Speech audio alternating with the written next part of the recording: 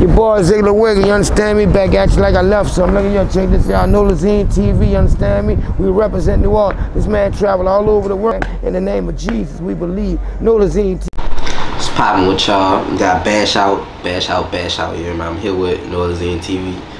I get this interview started off. Alright.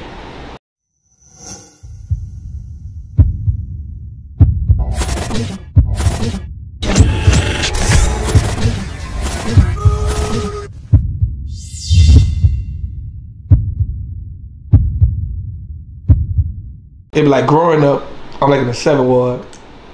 It be, how was it like for you?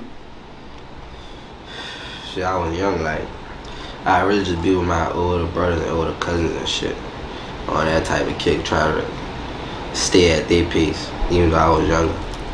That's really how it was. Cause shit, I had cousins. A few cousins stay in this house around the corner. And cousins down the street, shit like that. Everybody close. Okay. And so being, I'm like 17 now. Do you feel like you actually, I'm like caught up? Only with your cousins now, bitch? Yeah. Fucking right. All right. I know I still got shit to learn and shit, all that, but yeah, I'm, I'm up to pace. Okay. Um, so growing up, I'm like, who influenced you as far as to, I'm like, start making music?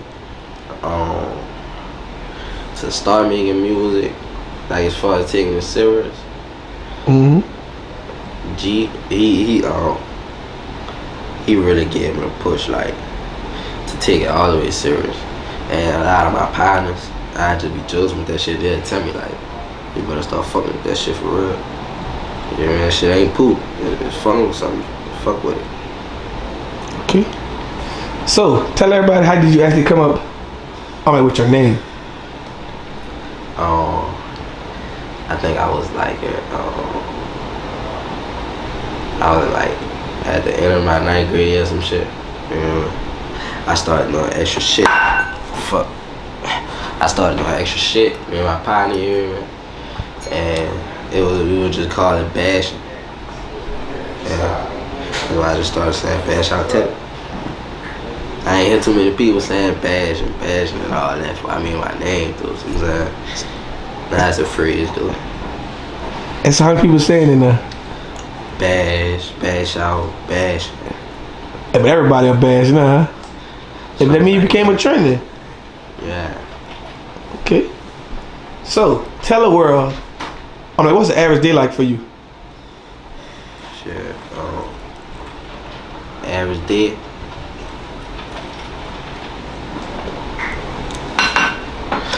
My average day, fuck shit. I wake up and come outside, trying to see what's there, see how I go. Make the next dollar. If I'm on some rap shit, I go to the studio, probably shoot a video, and on some shit like that. Okay. So, I'm do you have any projects coming up? Yeah, I had a project. I got a project I've been working on for a while. It's called um, Bash Out Breezy. That's the name of the album. You know, I'm, I'm just getting somebody to mix my shit right now. It's about to be coming out real soon. I'm gonna do like two, three videos on it when I put it out. I'm looking forward to that. And I got another album I'ma have right after that. I'm already working on. I'm already shit. I'm really done with it on the cool. It's called Homicidal Depression. Okay. Also, do you have any like features on it? Oh, and Bash Out Breezy, I got features on it. I got um, I got Young Josh, Spitter Seven, Bankroll Hump, and um, I'm gonna have a, a surprise feature on there. Oh, you can't say it yet, huh? Yeah, I won't say it. Hey, so tell us, I'm like, what separates you? I'm like from other artists. I feel like my vocabulary separate me and my different flows. Like I wouldn't make like a usual kind of song that people be like head shit like kind of genres of the songs. I always try some different shit. But I still go touch every part I could, like with the music and different flows, beats, styles, all that. So I'm trying to, I guess I'm just trying to say I'm versatile. Okay. Um, so you've been, I'm like rapping for, um, for probably like a whole, for like a whole, I'm like year now. Yeah. Um, so what's your favorite song? Um, well, tell everybody, I'm like, what's your favorite song? I'm like that you released, and I'm also I'm gonna tell them why. Oh, damn. I My favorite song I release. Probably um Oh Lord. It was on my my album Bash Out Season. It's probably my favorite album because it got a lot of heartfelt truth in that. Personally for me. Okay. So, as far as being in the music industry, tell us what do you enjoy about it, and tell us what do you actually, I mean, hate about it. Um, shit, what I enjoy about it, I just I like to make music first. That's why I really like. I really just like to rap, and the kind of shit we be going through. Like you know, you gotta travel with this shit. You gotta you gotta lock in with other people, communicate like that, and it's, it's a business. And I like the fact I could eventually make some real big bucks out of this shit, and I'm really having fun. Like just what I like to do. Oh, And what I might not like about it, um, people get too comfortable, like, like people that might fuck with my music and shit. I'm saying like, I'm still, I'm still me. I know I'm an artist. You fuck with my shit, all that, but some people get too comfortable with that. You get what I'm saying? yeah, I get what you're saying, but you know, everybody might not get what you say. And I'm trying to see how I'ma say it. Like Um, basically, you saying like, like you know, people it feel like they know you because you're a music artist, but like for the personal level, they don't know you, and they be you know treating you the same way. Yeah.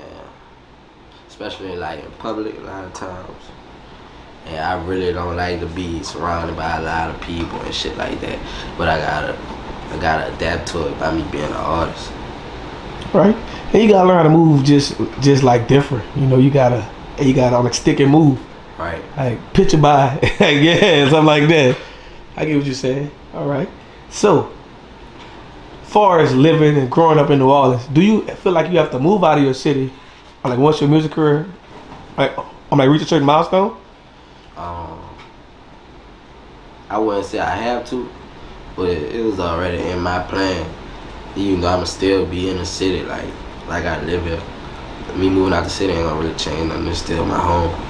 But I know it's gonna change. Like my music get to a certain level, it gotta change the way I move, especially when I'm out here in the city. Cause shit is New Orleans. You, you live in New Orleans, you know what New Orleans is. Okay. So, you know, and you've been doing shows, traveling. Tell us, I'm like, what was your favorite show that you performed in, and and also, I'm like, tell everybody why. Um, the favorite, my favorite show I performed in was in Thibodaux. That show, that was the show I seen the most people that really know my shit. Like, they singing my shit for real, and they really fucking with it. But other shows, I be places where I'm not familiar right there, so they gotta actually listen to it and determine if they fucking with it or not. Show in Thibodaux, it was a lot of people that already fuck with my shit. Oh, I mean, that's a good thing. So, you know, everybody been, you know, actually watching Bash Out, and they said, but you always on the show with, I'm like, NBA Meechy. Do you plan on, I'm like, dropping more songs with Meechy, or even dropping one, I'm like, mixtape? That's stamped already. We got um, we got two extra songs that's not out that we on a song together, and we're gonna we gonna record more. That's just any given moment we gonna make a song. And fucking right, he gonna be on he gonna be on more projects. He gonna be on. And I also heard um, that you have actually, I'm like, more songs with, I'm like, No Cap as well. Yeah. I'm uh, gonna drop a video for that. I'm sure you shot the video already. I know. I'm Oh. gonna drop a video for it though. Okay. So, far as like just it was just growing up in New Orleans and just watching the music scene, do you feel like other artists in New Orleans actually I'm like support each other? Um, yeah, you can see it with certain artists. You can see us supporting each other, but I ain't gonna say it's like you ain't gonna really find no artists that support everybody. You know, I don't think it's gonna never be like that.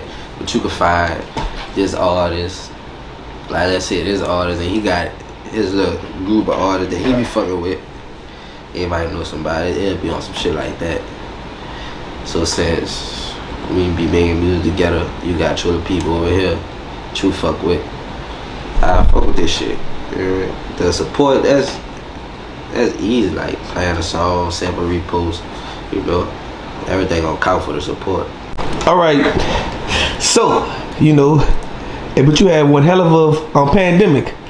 and you know, if you drop, you know, if you drop video after video during the pandemic, you had features with NBA Meechy, Herm, I mean No Cap, damn it, the whole NBA.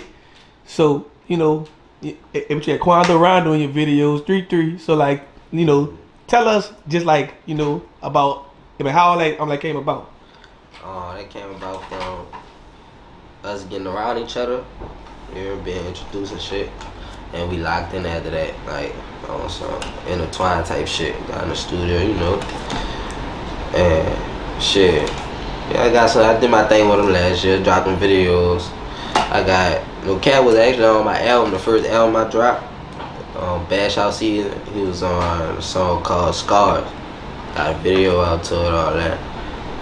Um, me and Meech, that was Meech was the first video I dropped. And the song that we did the video to, that was the second song we had made.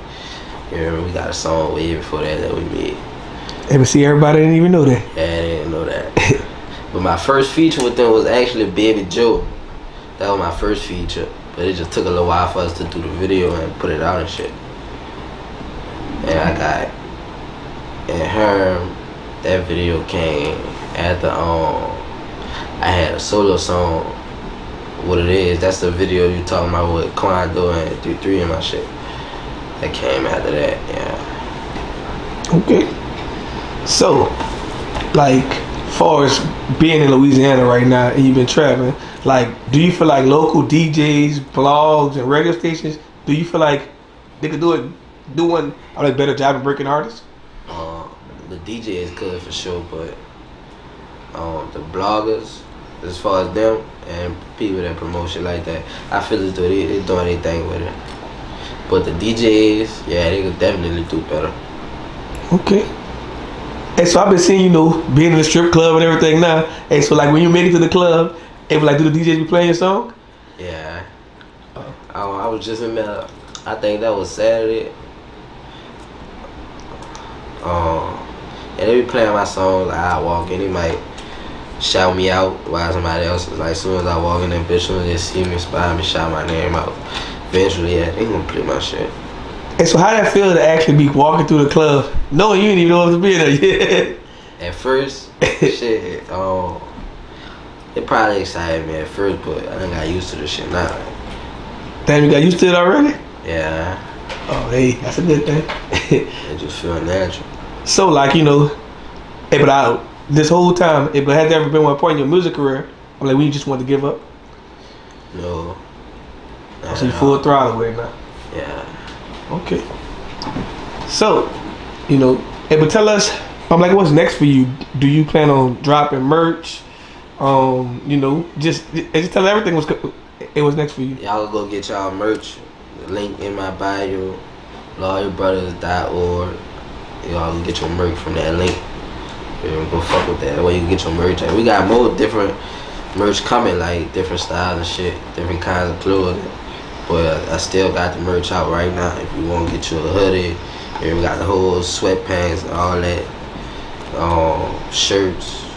I think they got masks on there too. If you want any of that, link in my bio. So you know, if you started something, and like during the pandemic, it was I'm like record label called um Loyal Brothers Entertainment, I want you to tell the world. I mean, how did it actually get I'm like started? Um, yeah, one night I was already making the songs on my phone and shit, and my partner be playing it. His name G, and one of my close partners.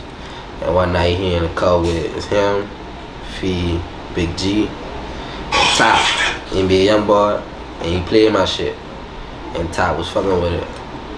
And at the um, at the Big G seen Ty was fucking with it, he seen a reason to come fuck with me with the music shit. It was all from there. Yeah. Okay. And also, uh, but last but not least, tell everybody. I mean, what can they find you at on social media and just other other on like music platforms?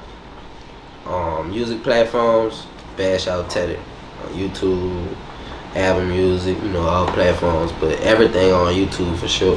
And social medias, everything Bash Out 7 Teddy. Oh, wait a minute. Nolazine make them whole screen. You understand me? You want a t-shirt? You want to have a wife beater with a hole in it? You want a pair of short pants with six holes in it with all your coochie hanging out on the side? Holler at your people, baby. Ziggler Wig, you understand me? The cock on this BLOCK, you understand me? A beautiful day.